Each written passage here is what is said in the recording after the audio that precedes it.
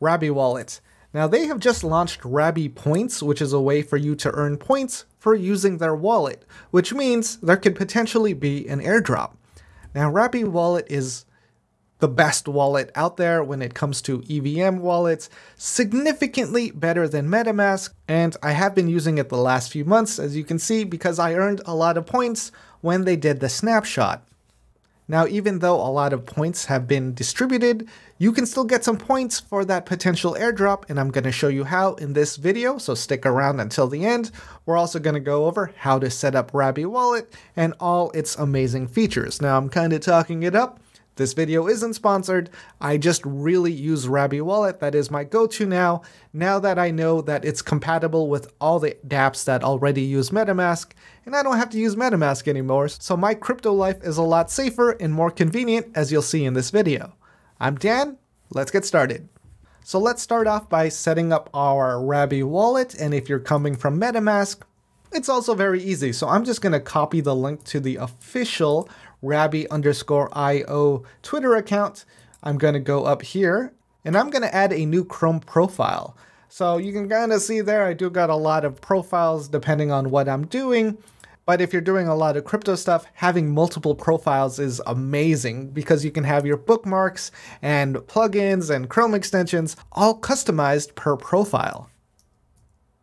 So I'm going to continue without an account and we're going to call this uh, MetaMask Rabby test. Then we're going to go to the Rabby.io Twitter account, the official account with over 72,000 followers. We're going to go to the official site, Rabby.io, and we're going to download for Chrome. Now, back at the main website, Rabby is available as a Chrome extension, a desktop application, and not mobile. So if you see a mobile Rabby wallet, it's a scam, and that has happened a couple times, so be careful out there. And we went through this route instead of just directly looking in the Chrome store because we don't want to get hacked. We want to go through official channels. We want to make sure that it has at least 130 ratings and 200,000 users. And now that we're ready, we're going to add this to Chrome. So it got added to Chrome. I'm going to pin this to the bar up here. And we're also going to get MetaMask so I can show you how to transfer things over. So we're looking for MetaMask with 16 million users. This looks good. I am in a test environment, so I don't really mind just jumping into things here very quickly. We're going to add this to Chrome. We're going to pin this once it's available. And we are going to set up a MetaMask account because I want to show you how to transfer your MetaMask account over to Rabby. So that's why we're going to need a test wallet. And this is going to show you how to set up your MetaMask. So I'm going to create a wallet. I'm going to agree to this. I'm going to make a password. It's a very weak password. Um, but yeah, I'm not putting any funds in this, so that's all right. So, you know, we can secure our wallet. You're going to see my passphrase here for this empty wallet. You could use it, you can test it out, whatever, but it's very high risk. And I'm going to copy this to the clipboard, hit next. I made a new notepad and you can see my seed phrase here.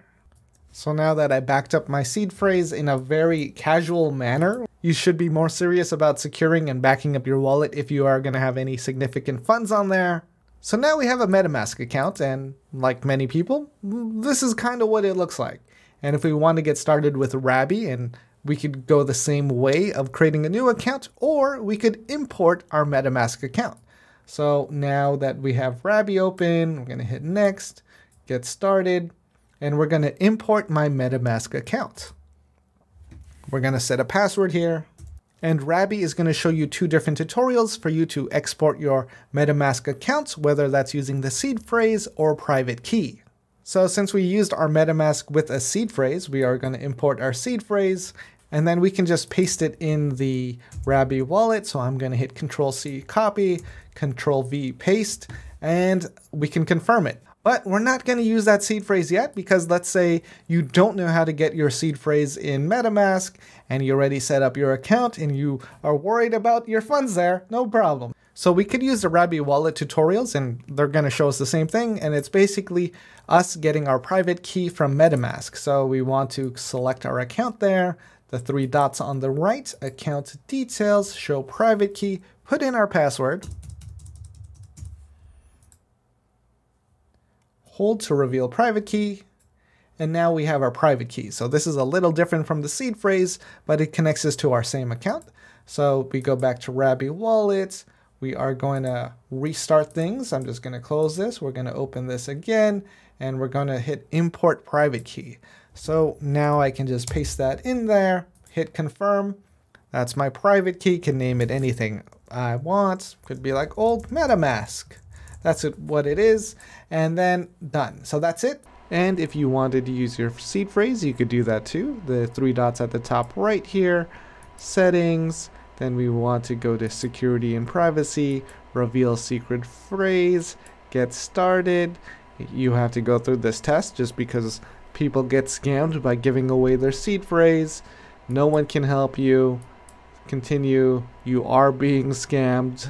So now that we have that, you hit continue, put in our password. Hold to reveal SRP, secret recovery phrase, and then we have our recovery phrase, and we can copy that to the clipboard, go into Rabby, and paste it in. Alright, now that we have Rabby set up, we still have MetaMask, and if you zoom in here, you can see MetaMask is in use and Rabby is banned. We could always flip that, Rabby is in use and MetaMask is banned.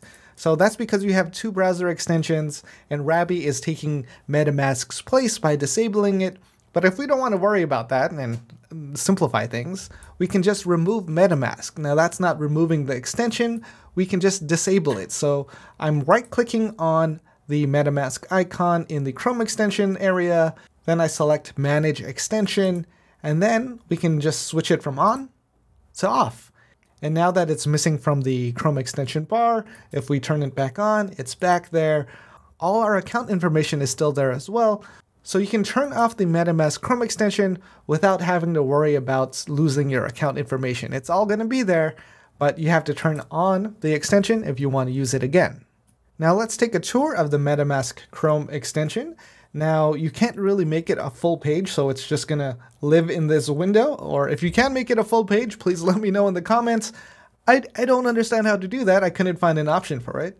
And starting at the top, you can see your portfolio uh, performance. You can see the assets you have on multiple chains. You can select this box, and it's going to show you all the assets you have. This is just a test wallet that I'm playing with you have the testnet balances because yeah I, this wallet i use for testnets and participating in early platforms so you can see at a glance it's showing my balance on multiple chains uh, arbitrum nova polygon ethereum and if i want to see my nfts that those are also available so i just go to the nft section and you can actually get a good look at what you have in your portfolio and if i want to hide my balances i could just select my balance there and it's hidden.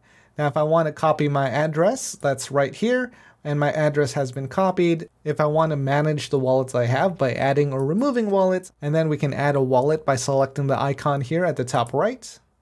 And then we could import another seed phrase or import a private key. Now this is my favorite feature because when you're using MetaMask, it's very hard to import another uh, wallet by seed phrase. It's to force you to use a private key. So there are little things that are very frustrating about using MetaMask and other wallets like that where Rabby's like, yeah, import whatever you have. You can add multiple wallets to your account if you want to.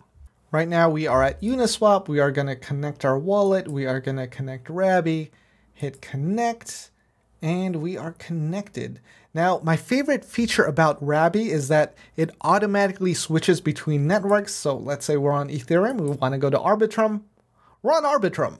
If you were using MetaMask, you would have to confirm the switch between networks. With Rabby, it's automatic. So this is my absolute favorite feature about Rabby it just simplifies things. It makes the user experience a lot better.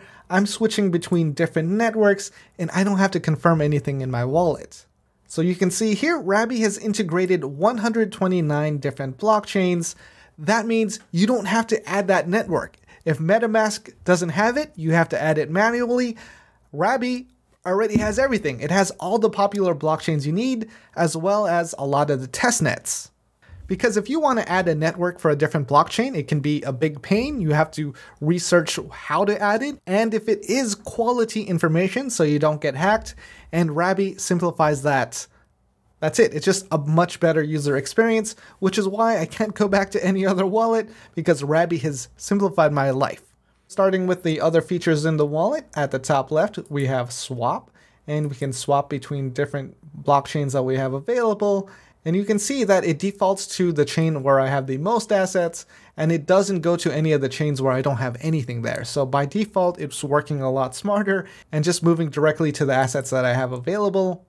You can see it's just populating the assets that I have. It's not showing me a bunch of zero balances that I don't need. And if I want to swap between assets, I don't have a lot of funds on here, but I can. So I can put in the amount I want, I can get quotes, and then if I want to trade, I have to enable these exchanges. So a lot of these are very reputable, like OpenOcean, KyberSwap, 0x, Paraswap, 1inch, all very reputable. So to enable these for trading, we just hover over one of them, and since we have the best price here, uh, this is actually enabled already. I've been using OpenOcean. KyberSwap is a little bit more expensive, also enabled. I haven't enabled 0x, so it's easy. We just hit enable, and then we add trade. So we trade, we get a little warning, enable trading. Once enabled, you will interact with the contract from the exchange directly. Rabby is not liable for any risks arising from the contract of the exchange. I understand and accept it. Basically, they're saying, hey, you are using a different platform. We're not responsible for what happens. So now that I have enabled that exchange for trading, we can make that swap if we wanted to. So I would select uh, the exchange I want that's enabled. So you can see these are in gray because they're not enabled. If I select 0x, I can make that trade, swap via 0x.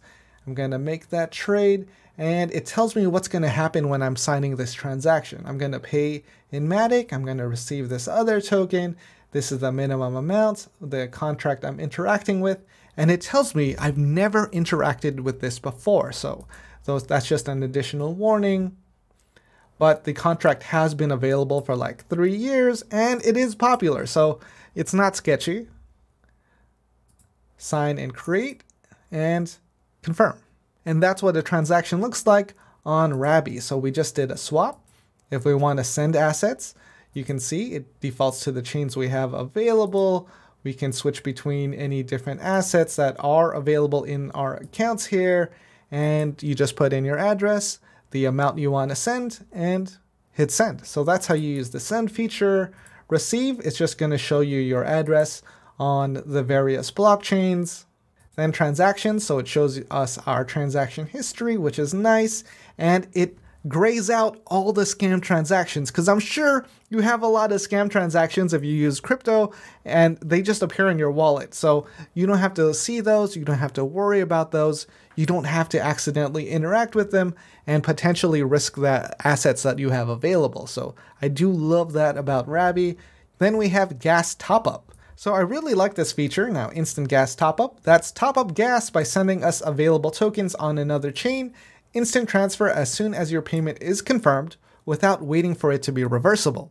Basically, you're bridging between blockchains almost instantly. It's it's just like, hey, we'll give you the credit, you just give us some assets on this other blockchain, we'll give you gas on the one you need. So if I want to top up my balance on Polygon, you can see I don't have a lot of funds. So the lowest amount I'm eligible for is $20 at the moment. I hit continue and then it says select payment token. And then I can use my Arbitrum Nova Ethereum balance to top up my Polygon balance. So basically, uh, I am going to be getting $20 in Polygon, but I'm paying $24 in fees to do that. And that's because they're providing the service, but it does make it a lot more convenient if I need to move assets right away and if things are time sensitive. Then we have approvals. So you've probably connected to a lot of different websites and you need to revoke access to it. Now, I don't have a lot of things to revoke here. There's nothing. So we're going to go to another wallet of mine. So we're going to go to approvals and you can see that I have some long-term approvals here from the last few years where it's either at least two years old to the last few days. So if I want to revoke access to any of these contracts, I can. I just select them all and then hit revoke. Now, I have to pay for gas fees to do that, so just be aware that uh, your balance is going to be lowered because you are paying these transactions to revoke access to your wallet, which does make your wallet a lot safer if you don't trust certain websites. If you're familiar with revoke.cash, it removes permissions you've granted within different contracts, and that's exactly what Rabby is doing, but you can select multiple contracts at once, and there's a button directly for that in your crypto wallet. Now other features in this dashboard, we can see the current price of Ethereum, we can see the current gas price, we can see dApps. Now I really love this feature. I don't want to Google for a bridge or anything. I want a list of resources that are credible that aren't scam sites. And that's why using Rabby and going to their dApp section is amazing. So it gives a list of 15,000 different dApps. And if I'm looking for a bridge, I'll just type in bridge and you can see what's available. I am familiar with Stargate Finance. If I am going to bridge between different blockchains, I'll very likely just use that one. So if you're looking for a bridge or you're trying to swap something, and obviously, this is way too many decentralized applications, so we can filter it by blockchain. So if we were going to do something a little more obscure and do a swap on something like Flare, this is going to show us the swap platforms on the Flare network that have already been qualified by the Rabby Wallet team. And the same goes for other networks too. So you just have to put in the blockchain that you want to trade on, and Rabby is going to find a platform that you can use. And let's say we don't want to search for any dApps, we just want to see what's in an ecosystem. We can just filter by blockchain without using a dApp name.